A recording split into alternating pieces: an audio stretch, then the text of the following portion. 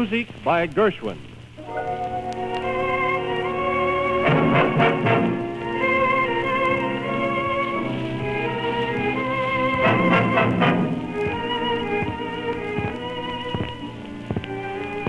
This program comes to radio headed by George Gershwin, America's leading modern composer, who brings us an intimate review of present day music.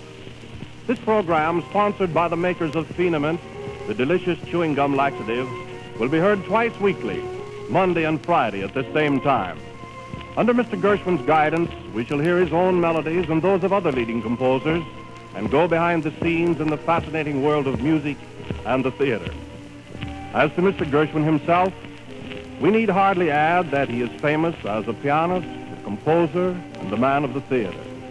Writer of the famous Rhapsody in Blue, of Thee I Sing, and countless individual melodies and pieces, together with no less than 37 musical comedy scores. Mr. Gershwin occupies a commanding position in several creative fields. It is now the great privilege of Feen-a-mint to introduce this vital, interesting personality, Mr. George Gershwin. Good evening. Don Wilson said that these programs were to be intimate reviews of modern music. I'm afraid that's a rather large order. Personally, I should have felt safer if he had said that the programs were to be informal, for that is certainly what my part in them will be. I want you to feel as though you had simply dropped in at my house or I at yours to run over a few tunes that may have given us pleasure. As a starter, we ask the orchestra to give us the overture from Of Thee I Sing.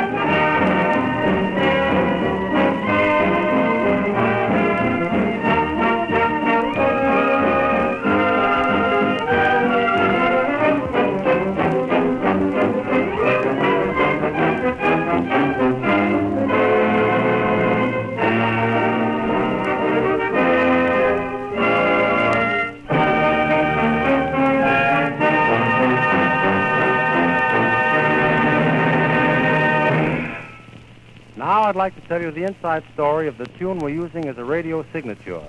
It's called The Man I Love, and you may have recognized it at the opening of the program. This tune was written 10 years ago, and about this time we did a musical comedy, Lady Be Good, featuring those delightful performers, Fred and Adele Astaire. Imagine my discomfort when the tune received such a lukewarm reception in Lady Be Good that we felt obliged to take it from the play. But my spirits rose shortly after this when Lady Mountbatten asked me for a copy of the song to take back to England. Soon, Lady Mountbatten's favorite dance band, the Berkeley Square Orchestra, was playing The Man I Love. It wasn't long before all the dance bands in London had taken up The Man I Love. Strangely enough, I now had a London song hit on my hands without being able to sell a single copy.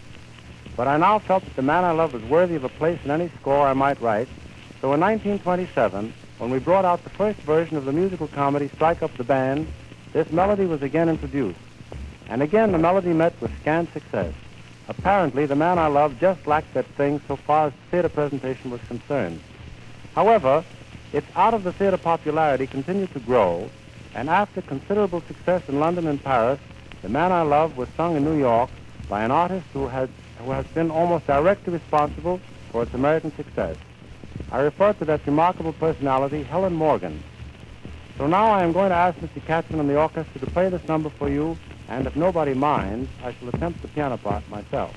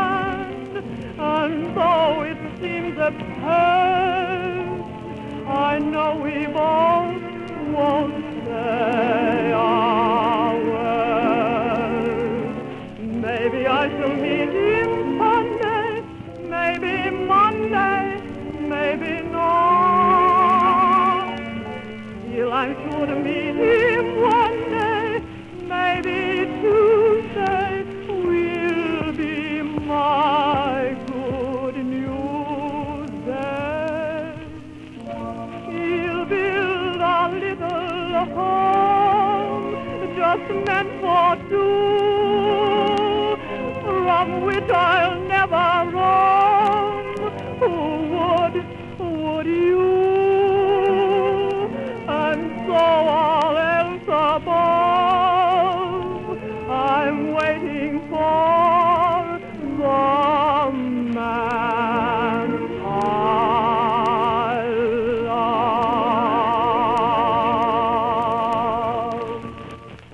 Don't see any good reason why we should be concentrating on my tunes to the exclusion of all else. And on future programs, we're going to play some music of contemporary composers. For instance, on Friday, we'll play the prize-winning composition of Rube Bloom's Song of the Bayou. But right now, I want to play for you a composition of mine which brings up the pleasantest memories. It's I Got Rhythm from a show called Girl Crazy.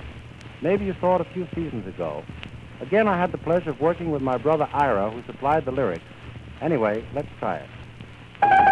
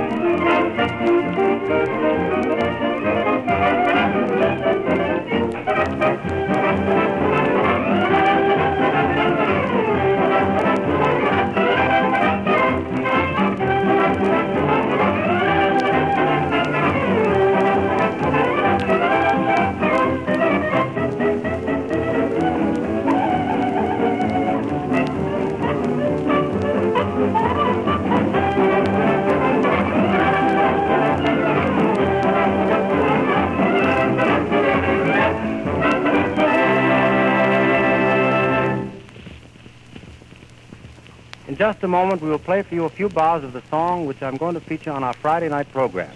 But first, let Don, Wil- Don Wilson has a word for you. George Gershwin, presiding over this program of modern music, presented for your entertainment by Feen-a-mint, the chewing gum laxative, brings us the spirit of the day in which we live. Modern life with its complex problems, its progress toward better times.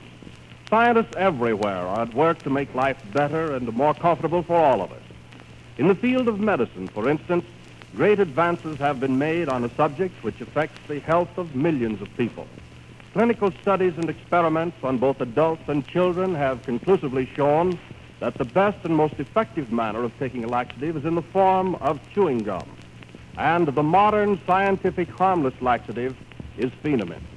Remember, chew your laxative, and you will understand why over 15 million people have chosen Feen-a-mint.